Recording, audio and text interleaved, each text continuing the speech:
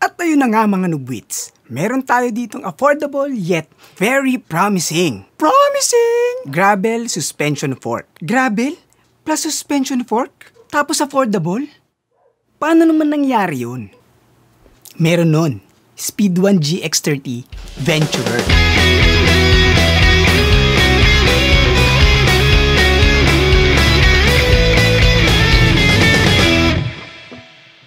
Follow nyo nga pala ako sa www.facebook.com slash foreverbikenoob para kung may mga katanungan kayo, mas madaling mag-reply.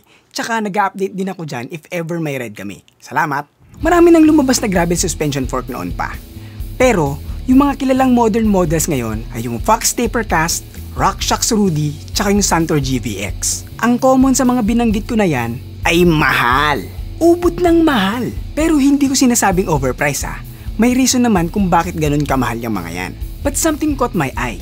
Gravel suspension fork, pero below 10k lang. Aba, tinignan ko nga yan. So we have here Speed 1 GX30 Venturer Gravel. Gravel! Suspension fork. So, pag-uusapan natin yung mga specs. Ano yung feel pag nagra-ride? Kailangan mo ba ito kung gravel rider ka? At ano yung mga na-encounter kong problema? Actually, hindi problema sa product. More of challenges or obstacles para magamit ko itong fork na ito. Pag-usapan na rin natin kung bakit meron ako nito at bakit ako nag-acquire ng unit. So simulan natin kung anong meron pag bumili ka. Siyempre, nakabox itong fork na ito. Maayos naman ang packaging.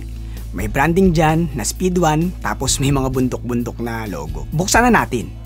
Bubungad sa'yo yung mga kasulatan, manual, spec sheets na malamang hindi nyo babasahin. May plastic dito na may lamang 160 flat mount adapter. Apat na bolts, dalawang mahaba at dalawang maiksi. Yung mahaba, pang-mount ng adapter sa mismong fork. At yung maiksi, pang-mount ng caliper sa adapter. At syempre, yung star ng video na ito ay yung GX30 Venturer Gravel Suspension Fork. Made in Taiwan yan. Tignan nga natin kung may laman pang iba ang ilalim. Wala na. In fairness, ang ganda ng finish. May decals na Speed 1 dyan sa outer side at GX30 Venturer naman sa inner side ng fork. Painted pala ito ha, hindi yan sticker. Speaking of sticker, may mga sticker ng PSI chart guide dyan. Kung ilang PSI ang kakarga mo, depende yan sa weight mo. At may warning sticker din, used only for cross country, wag daw gamitin sa 4-cross, dirt jump, downhill, at all mountain. Ano yung remodel? Remodel?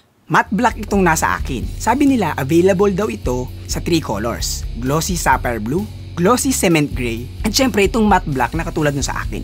Though, wala pa akong nakikitang available na sapphire blue tsaka yung cement gray. Pero, yan daw ang mga options. Material use, simulan natin sa pinakataas. Ang steerer tube, gawa yan sa aluminum. So, magaan yan.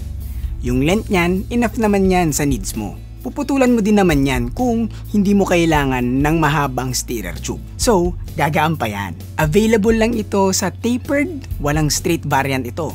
So, kung ang frame mo ay non-tapered, kailangan mo pang i-adapter. So, medyo hassle yan. Pero, kung tapered na yung frame mo, wala ka nang poproblemahin. Crown material ay aluminum.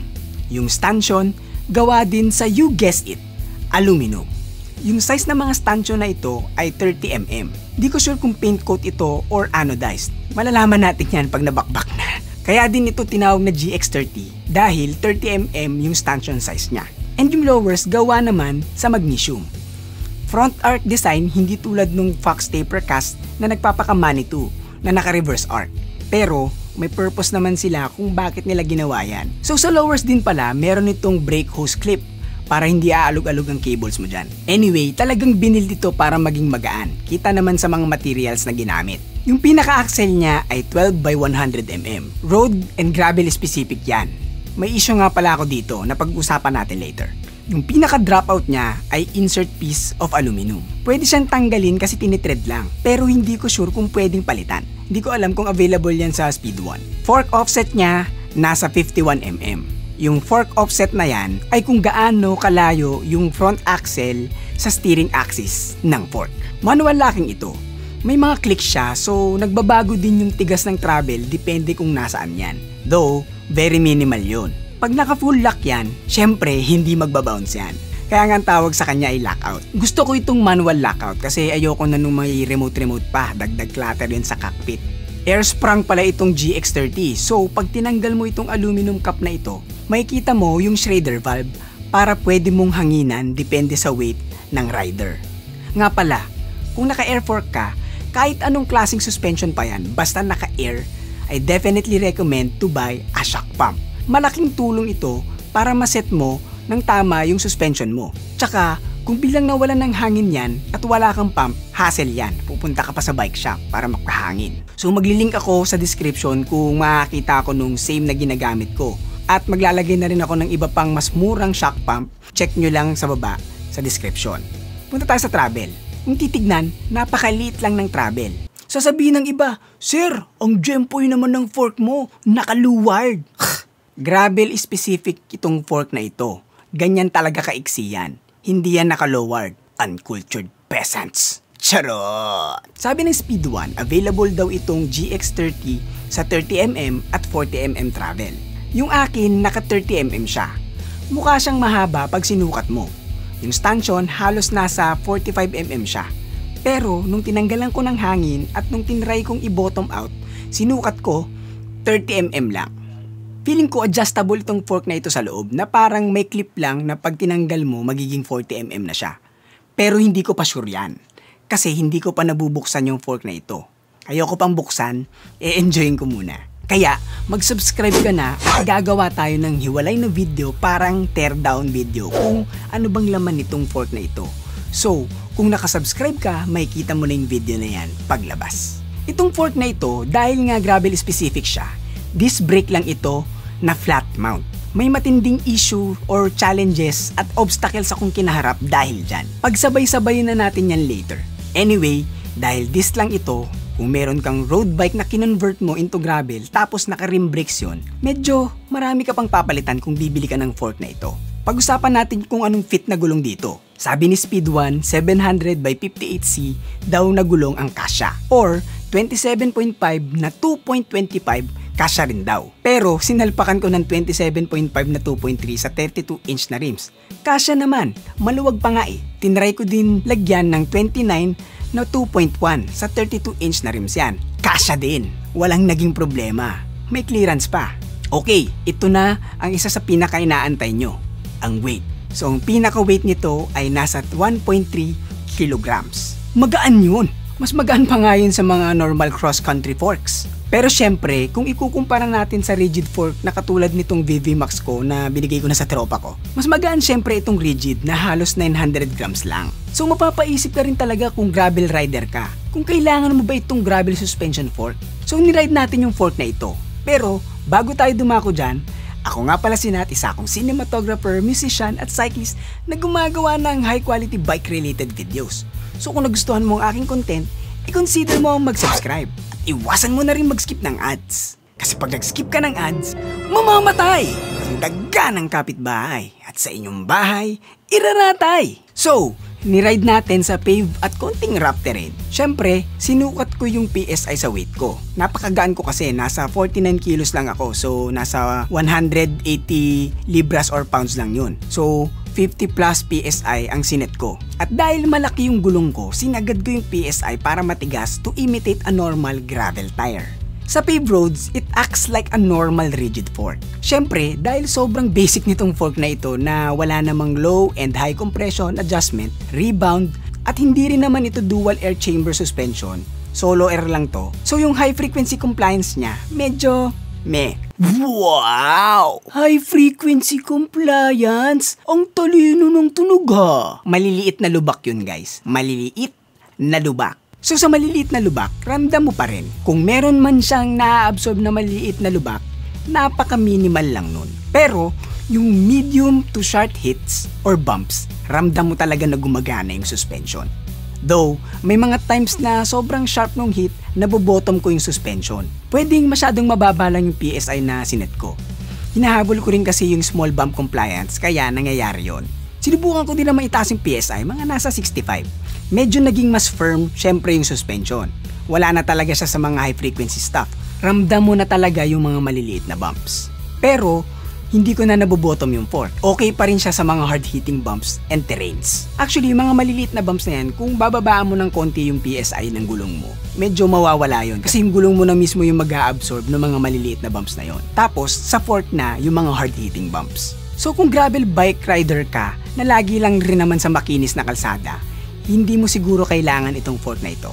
At meron din kasing mga rider na medyo masokista na sasabihin nila, hindi ko kailangan yan. Kaya nga ako nag-gravel bike kasi gusto ko nararamdaman ko yung terrain. Para adventure! Yes, may mga ganyang rider. Pero knowing the kalsada ng Pilipinas, wag na tayong maglokohan. Isang malaking trail ang kalsada ng Pilipinas. This fork might help you kung inis na inis ka sa lubak ng kalsada ng mahal mong bansa at lungsod. Lungsod, Quezon, aming mahal, araw mo ay napakainit! Anyway, sa mga tulad kong sagasa sa kalsada na hindi na pumipili ng linya ng maayos, sarap gamitin itong fork na ito para ka pa rin naka mountain bike. Kaya pag may ride kayo tapos nabudol ka, dinaan ka sa trail, medyo may laban ka pa rin kahit papaano. Makakasabay ka pa rin sa speed ng mga naka-MTB. May experience kasi ako na magkasama kami ni Papa Jesus dyan, si Juan Lakbay. Naka-MTB kami parehas, tapos kasama namin si Tito Ronnie, yung tropa namin, na naka-gravel naman. So imagine, nasa C5 lang kami noon. Sagasa kami ni Papa Jesus dyan sa daan. So si Ronnie, syempre, babagalan niya kasi matatagtag siya eh. Kaya medyo naiwan siya sa gravel niya. Isang reason yan kung bakit nag-gravel suspension fork ako. Para at least makasabay pa rin ako sa mga sagasa sa kalsada. Lang yan kasi mga kalsada dito sa Pinas eh. Pinag-uusapan na rin natin kung bakit ako kumuha ng fork na ito. Isa pang reason, dalawa na kasi yung XC bike ko. So, naisip kong i-convert itong carbon ko into gravel or monster cross. Kasi, geometry naman ito, pwede mo naman talaga i-convert into gravel. Tsaka, para maiba na rin at least dalawang magkaibang bike na yung meron ako. So, abangan nyo yung Monster Cross build ko. Uunti-untiin natin yan, so subscribe para makita nyo yan. Ano pa bang reason? Ah, ang pangit kasi ng stance ng rigid fork ko. Ang laki ng clearance, pang 29 kasi. Kaya naisip ko, kung mag-gravel suspension fork ako, mas okay tignan pero same pa rin yung taas hindi masyadong yuyuko yung bike. Last na pag-uusapan natin yung naging challenges at obstacle ko para lang magamit itong fork na ito. Gawa ng mountain bike nga itong frame ko. Siyempre, may mga compatibility issues. Gravel specific ang fork na ito. Malamang, pang gravel din at road yung specifications niya. Simulan natin sa caliper mounting. Siyempre, flat mount ito. Tapos, yung brake caliper ko ay pang post mount. So, kakailanganin ko ng adapter para ma-mount yung caliper. Siyempre, inassume ko na dahil fork nga siya, bumili ako sa marketplace ng pang front na 160 flat mount to post mount adapter. Rap Cycles yata yung name nung binilhan ko, somewhere in Novaliches. Okay naman yung seller, mabait naman, tsaka maganda yung review ng shop niya. Nagkaroon lang kami ng konting mishap. So ito na, dumating na sa akin yung adapter na pang front. Nung sinukat ko sa fork, tak hindi sukat. Iba yung bolt to bolt distance. Parehas nung sa rear ng flat mount ng gravel yung mounting. Siyempre nga, inassume ko na pang front yung kailangan ko, kaya yun yung binili ko. So mali ako doon. Kasi hindi ko sinukat or dinoble check. Aminado ako doon na tanga moment yon. So sabi ko sa seller, okay lang bang iswap ko yung pang front sa pang rear? Kahit hindi na mabawasan yung bayad kasi mas mahal yung front sa rear eh. Sabi niya, okay lang daw, basta hindi mo kang ginamit yung item. So binalik ko sa kanya personally. Sa kasamang palad, hindi niya tinanggap kasi nakita niya may konting blemish yung bolt. So ayaw niyang tanggapin. So bago pa uminit yung ulo ko, sinabi ko na sa kanya, sige, biling ko na lang yung rear. Pero ito yan, unang-una, hindi ko naman ginamit yung bolt para magkaroon ng blemish yun. Kasi nga, yung adapter, wala naman thread yun para subukan ko yung bolt. Pangalawa, ganun din naman yung fork. Wala ding thread yun para ma-blemish ko yung thread ng bolt na yon. Pangatlo, hindi ko naman isaswap yung bolt na yon. Diyos ko naman, sisirain ko ba yung reputasyon ko sa cycling industry dahil lang sa isang bolt? So meaning, nung dumating sa akin yung bolt, ganun na yon. Hindi ko lang talaga chinek agad. Kasi nga, kampante ako na okay naman yung review ng seller. Sinasabi ko ito hindi para siraan yung seller. Sinasabi ko ito para sa awareness na i-check nyo yung mga bibili nyo mga parts. Kasi kung ibabalik nyo yan dahil may compatibility issue, hindi nyo na mababalik yan kung sa simula pa lang may blemish na yan or may gasgas na. Lesson learned yan para sa akin. May extra tuloy akong adapter dito. so yun na nga, yung mounting ng fork na ito ay same ng pang rear na flat mount. So yung bolt distance niya eh mas maiksi kumpara sa ibang flat mount ng fork na malayo yung bolt distance. So pang rear yung kinabit kong flat mount to post mount adapter. Okay na ako sa problema na yon. Hindi pa pala tapos. Dahil yung true axle nga nito ay 12 by 100 na road at gravel specific. Masyadong maliit ito para sa butas ng MTB wheelset ko. So, hindi ko mamamount yung gulong ko. Kaya kailangan ko pang bumili ng 15 to 12 mm true axle adapter. Mura lang naman ito, nasa isang daan lang naman mahigit. Link ko sa description, baka kailangan mo. So dahil dyan, nakabit ko na yung MTB tires ko sa fork na ito. Pero guys, kung naka-gravel specific ka naman na wheelset o hub, hindi mo na kailangan ng adapter. Anyway, tinanggal ko nga pala yung O-ring sa isang side ng adapter para mas madali kong tanggalin yung pinaka-adapter niya pag kailangan. Ito na pala yung last challenge na kinaharap ko dahil malaki yung true axle adapter ng mismong hub, yung ganito, medyo kailangan mong i-massage ng konti yung pagka-mount ng gulong at axle kasi hindi mag-a-align yung butas. Mahihirapan kang ipasok yung axle. Yun lang naman ang naging challenges ko. Kasi nga, mountain bike yung mga parts ko na inilagay ko sa gravel specific fork. Kaya, may mga ganyang obstacle na kailangang suungin. Pero, kung gravel na yung bike mo at maglalagay ka ng fork na ito, sa tingin ko, mas less yung issues or baka wala pang issue. So syempre, tatanong nyo, kung marerecommend ko ba itong product? Yes, okay naman siya, it does the job. Kung gusto mong mag-suspension sa gravel mo pero wala kang pambili nitong mga salpakan ng mahal na fork na ito, meron ka ng alternative choice na mas mura. Ako personally, nagustuhan ko ito. Marami lang mga obstacles na kailangang solusyonan pero nagawan ko naman ng paraan. At least, kung bibili ka, alam mo na. Kung gusto mong malaman ng price, maglilink ako sa description. Puntahan mo na lang yon. Lagi ko ang sinasabi, paulit-ulit, na paiba-iba ang presyo, depende kung kailan mo napanood ito at depende din sa seller. Para sa mas accurate na presyo, check mo na lang yung link sa description. Nasa description din pala yung Facebook ko at Instagram, follow nyo ako dyan. Ilalagay ko na rin yung Strava link ko sa baba. At kung hindi ka pa nakasubscribe, eh ano pang inaantay mo? Mag-subscribe ka na para sa mga susunod na videos gaya nito. Ako nga pala si Nat na nagpapaalalang manatiling bike ng babang buhay para tuloy-tuloy lang ang pasok ng kaalaman. Paalam! Ano yung mga na-encounter kong problema? Actually, may eroplano. Yan siya. Ang lakas niya. Hayop.